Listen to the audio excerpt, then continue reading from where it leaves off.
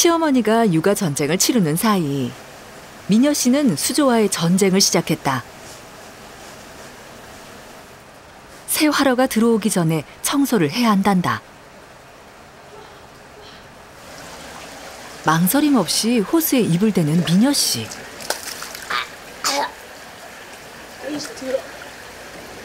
처음에 이런 일이 익숙치 않았겠어요. 지금도 익숙하지 않은데. 아니 5년이나 지났잖아요. 네. 근데 5년 동안에 이걸 다 한 게 아니니까 원래는. 근데 하다 보니까 하게 되더라고요.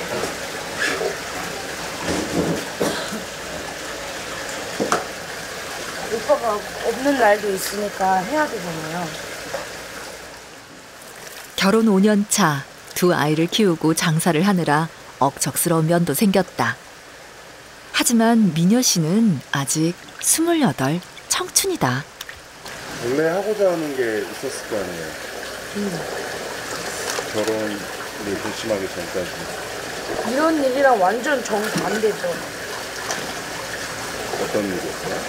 음, 원래 선생님이 꿈이어서 근데 그 선생님이 이제 장애인들 특수한 아이들 가르치는 게 제 꿈이었거든요. 그래서 학- 대학교도 특수교육과를 가서 공부를 하고 있던 도중에 둘 다 등록금을 다 벌어야 되는 상황이 된 거예요. 그래서 일을 하다가 여기 이제 여기서 일을 하다가 이제 일로 시집을 오게 된 거예요. 아르바이트를 하려 했을 뿐인데 인생이 바뀌었다. 미녀 씨는 그 의외의 인생이 마음에 든다. 하지만 딱 하나 걸리는 게 있다. 이거 매운탕 양념 없어? 잠깐 가봐야 돼. 저온 창고에? 매운탕 주문이 들어왔는데 양념이 없다.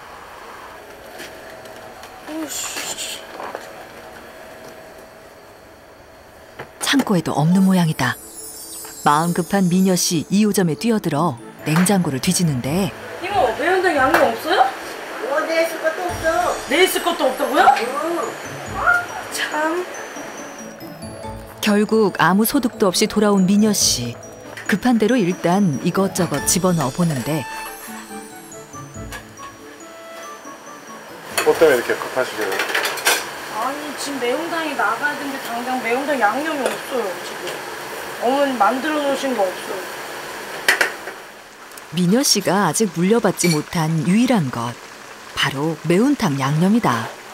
남이 하면 아 뜨거. 어머니 맛이 안 나서 어머님하고 저희 신우님이 만들어놔요 양념을. 근데 이렇게 손님은 있는데 양념이 떨어지면 제가 이렇게 급조를 해야 되는데 엄마가 안 가르쳐 주시니까 제대로. 혹시나 맛있지 않을까 시식해 보는데 일단 다진 마늘로 응급처치를 해보지만 뭔가 부족하다. 이대로 내갈 수는 없다. 엄마 어디세요 지금?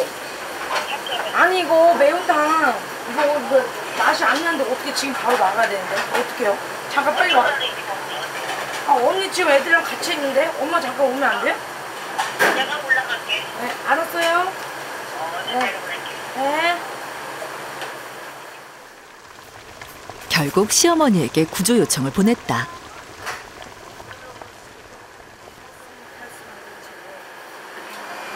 굉장히 이상형한 맛이 지금 빨리 나가야 되는데 글쎄, 조금 맛이 영 아닌 모양이다. 간이 덜 됐어. 조금 조금 더. 간이 조금 덜 됐어. 오랜만에 실력 발휘를 해보는데 새우 조금 더. 손큰 시어머니 뭐든 넉넉하게 들어간다. 새우도 많이 넣고, 이제 소금도 조금 쳤으니까 시원하고 거야. 새우가 좀 비싸요 과연 제 맛이 날까 싶은데 음 됐다, 됐다. 빨리 나가야 돼 가르쳐주면 바로바로 나가는데 안 가르쳐주니까 다 밀리잖아 이거 지금 이제 아직은 너는 손님을 저 안에서 하니까 그렇지. 손님 저거 오면 그때는 이제 언니는 그런데 가르쳐 주라고. 언니도 안 가르쳐준다니까 아직 때가 아니에요, 며느리는? 예, 이제 아직까지 손님 관리를 하니까 이거 할 새가 없잖아, 그런 찌개로. 다른 일을 완벽하게 하면 그때 같이 줘야지. 하나씩 하나씩 해나가면 된다. 무리할 필요 없다.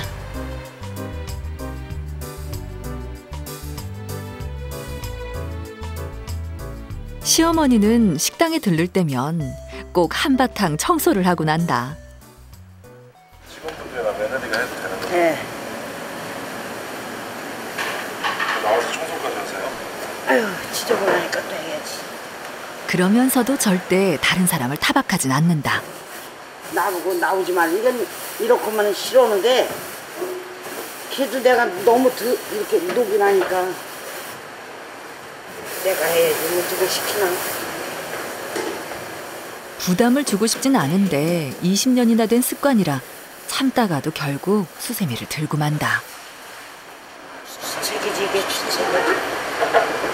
진짜 바빴는데 하려고 막 하는데 엄마가 먼저 해서 제가 할 시간을 안 주시는 거예요. 제가 하려고 막 했는데 이렇게 하려고 했는데 할 시간도 없다니까 애들은 바깥에 손님 받니까 안에서 이거 청소할 시간이 있어 그냥 나가야 돼요. 시어머니는 괜찮다 해도 제가 모자라 고생하시는 것 같아 마음이 무겁다. 엄마는 제가 했던 일에다가 그런 청소까지 다 하셨는데 제가 아직도 모자란 부분이 많은 거죠. 저는 막 그냥 엄마한테 바쁘다고 이거 바쁘다고 그냥 생색내는 거나 다름없으니까 다 봐야 되는데 제 눈에는 아직 안 보이거든요. 엄마 눈에는 아직도 이런 일들이 다 보이는데 엄마가 하시는 거 보고 아직도 배우고 있는 중이에요. 저도 계속. 하지만 시어머니는 눈에 모자라긴커녕 예쁘기만 하다. 우리 집에 오기 전에 서빙 받죠 저, 저희 안에서 서빙 보다가 우리 아들하고 눈 맞아가지고 내가 또 붙여줬지 이것도 물려준다고 그리고 뭐 잘한다 그리고 니들 벌어서 니들 거라 그리고 우리 집에 시집 오면은 뭐 그냥 잘해줄 거라 그리고 다 저거 해줄 거라 그리고 다 꼬셨지 하지만 결혼은 말처럼 쉽지 않았다. 스물셋 어린 딸이 아홉 살 위에 사익감을 데려왔을 때 미녀 씨의 아버지는 완강하게 결혼을 반대했다. 결국 가출까지 감행해 첫째 서준이를 낳은 미녀 씨. 그제서야 아버지는 두 사람을 인정했다. 그게 벌써 5년 전이다. 그 사이 가게가 번창하고 하준이가 태어나고 가족은 웃음이 늘었다. 미녀 씨가 복덩이다. 넝굴째 굴러온 우리 미녀.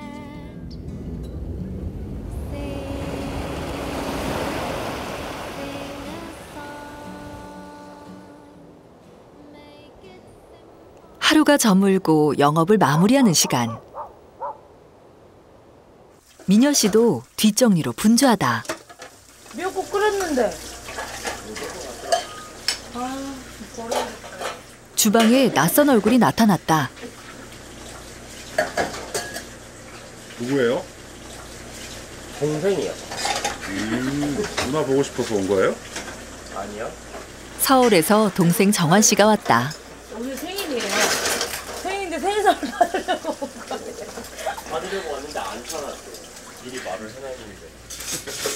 누나에게 축하받고 싶은 마음에 멀리서 왔건만 괜히 서운하다.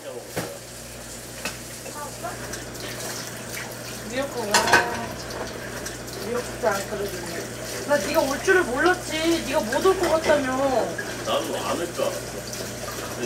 나 네가 못 올 것 같다고 해서 이미 끓이려고 불려놨다가 안 했지 아예. 한 8시까지 안 오려고 하다가 어, 암만 생각해도 이거 아닌 거야. 가야 되겠는 거야. 아, 그럴 거면 영화하러 갔어. 아니야 다른 약속도 제쳐두고 찾아온 동생인데 그냥 보낼 수가 없다.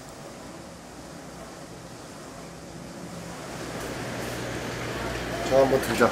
뭘요? 짬뽕. 아, 진작 말하지. 옷을 갈아입고 왔을 텐데. 미녀 씨에게 4살 아래의 동생은 아픈 손가락이다.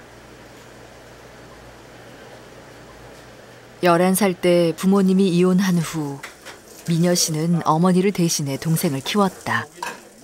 서로가 세상의 전부이던 시절이었다. 음, 아무튼 동생을 되게 제, 제가 아들처럼 키운 것 같아요. 동생도 그래서 저를 엄마라고 생각을 해요.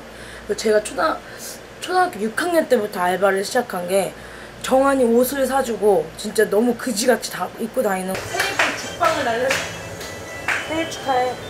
감사합니다. 노트북은 잘 받겠습니다. 노트 소원 빌었어? 어, 빌었어. 노트북 갖게 해달라고? 최신형 노트북 받겠다.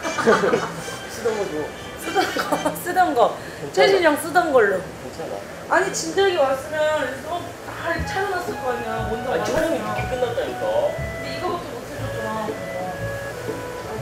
어쩌라고 어? 소주 한 잔을 주라고? 선물로?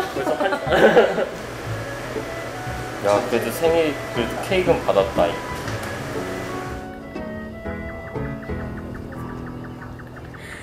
아니 아니 온다고 말을 안 했다니까요 진짜로 아이, 끓이지 마. 어차피 안 먹을 거야.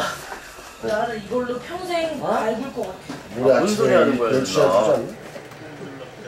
그래도 해줄 수 있는 건 다 해주고 싶은 미녀 씨. 할거 아니야? 와 진짜 나는 진짜